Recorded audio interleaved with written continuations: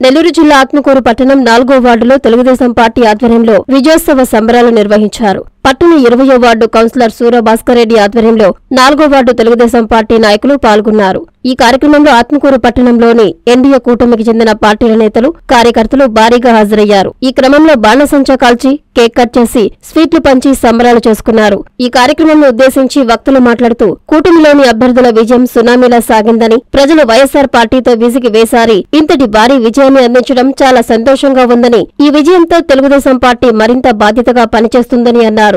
అలాగే ఆత్మకూరు శాసనసభ్యులుగా గెలిచిన ఆనం రామనారాయణ రెడ్డికి మంత్రి పదవి తప్పనిసరిగా రావాలని దానివల్ల జిల్లాలోని మెట్ట ప్రాంతాలు బాగుపడతాయని ఈ సందర్భంగా వారు తెలిపారు. ఈ కార్యక్రమంలో సూర భాస్కర్ రెడ్డితో పాటు పట్టణంలోని ఎన్డీఏ కూటమికి చెందిన తెలుగుదేశం బీజేపీ జనసేన పార్టీ నాయకులు కార్యకర్తలు హాజరయ్యారు.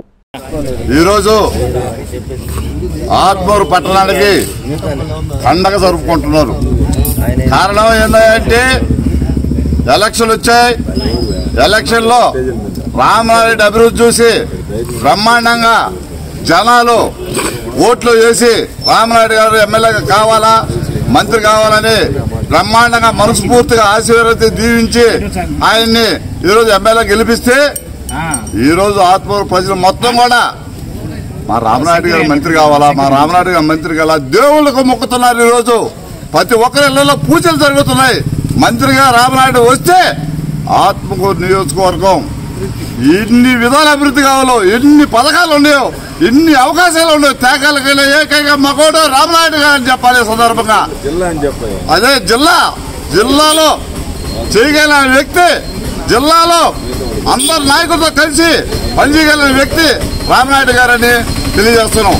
అదేవిధంగా ఆత్మూరు ప్రజలు కాదు నెల్లూరు జిల్లా ప్రజలు కానీ నెల్లూరు జిల్లా గెలిచిన నాయకులు కూడా రామనాయుడు గారు మంత్రి అయితే బాగుంటుందని చాలా మంది కూడా ఆనందంగా కావాలని ఆ దేవుని కోరుకుంటున్నారు. అదేవిధంగా గత పాలకులు ఉన్నారు పది సంవత్సరాల నుంచి ఉన్నారు. అయ్యా ఫోన్ ఎత్తరు. పిఎలు మాట్లాడాలా? అస్సలు. అభివృద్ధి అంటే ఏమీ తెలీదు. ఎవరికేమో తెలియదు ఏం చేయాలో ఈ ఊరికి ఏం చేయాలో తెలీదు. కేవలం షో షో రాజకీయాలు. వాళ్ళు ఏం చేశారా అంటే ఆయన గౌతమ్ రెడ్డి గెలిచాడు. ఆయన ఏమంటే నేను ప్రతిపక్షం ఉన్నాను నాకు ఎవరు పనులు చేయలేదు చేతులు ఎత్తేసాడు సరే శుభం. సరే ఆయనకి ఆరు పదవులు ఆరు పదవులు ఇచ్చి మంచి క్యాబినెట్ ర్యాంక్ హోదాలు ఇచ్చి మంత్రి పదవులు ఇస్తే శాఖలు ఇస్తే ఆరు శాఖలు. ఆయన ఏం చేశాడంటే నాకు అభివృద్ధి చేయడం చేత కాదు అని అన్నాడు. సరే ఆయన పరిస్థితి అట్టుంటే ఆయన తండ్రి రాజమోహన్ రెడ్డి ఆ రెడ్డి వల్ల ఓహో ఆహా అని కూర రకాలే తీశాడు కానీ ఎవరు పోయినా ఒక పని చేసిన దాఖలా కూడా లేవు. పని చేయాలంటే వాళ్ళ కోపం ఇసుగు అన్ని బాధలు వాళ్ళకి.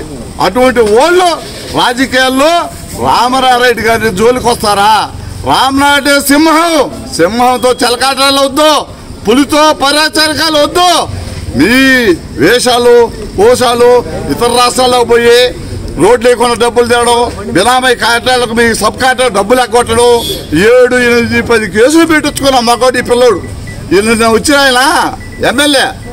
నేను ఆ బై ఎలక్షన్లో గెలిచాను నేను పోటుగాన్ని నేను పులిని అన్నాడు.